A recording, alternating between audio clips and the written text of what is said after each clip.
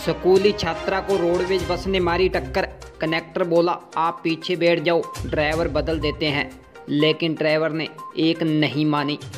Video viral, Punjab roadways bus driver शराब के नशे में था।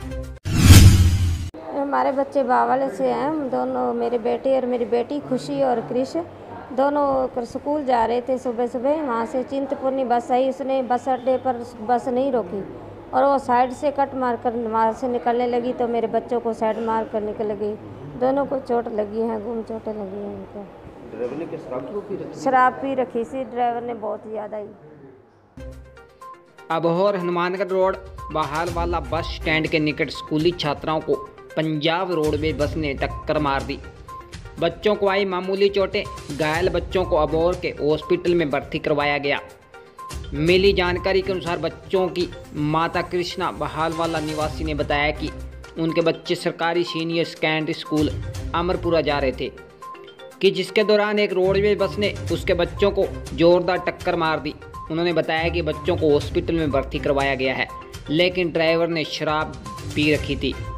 डॉक्टर मनीषा रानी ने बताया कि उनके पास दो बच्चे हैं, जिनको रोडवेज़ बस ने टक्कर मार दी।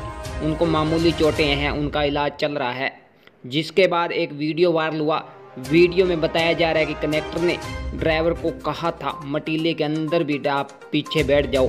ड्राइवर बदलते हैं, लेकिन ड्राइवर ने एक नहीं मानी।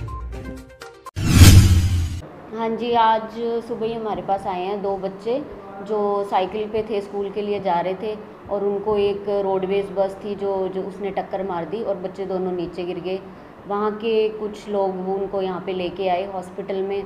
बच्चों को ज़्यादा चोटें तो नहीं लगी है पर अभी हमने उनके एक्सरे वगैरह करवाए हैं तो उनकी रिपोर्ट आएगी तो अभी पता चलेगा। उनको हमने एडमिट किया है। तो मैडम उनके थ्रू को सूचना मिली है? कोई ड्राइवर ने कुछ शराब शुरू पी रखी थी? कोई बताया जैसे? नहीं उसका तो हमें अभी तक कुछ नहीं पता है। वो तो उनके परिजन ही बता सकते हैं। हमें तो यही पता चला है कि बच्चों को बस ने टक्कर मारी है।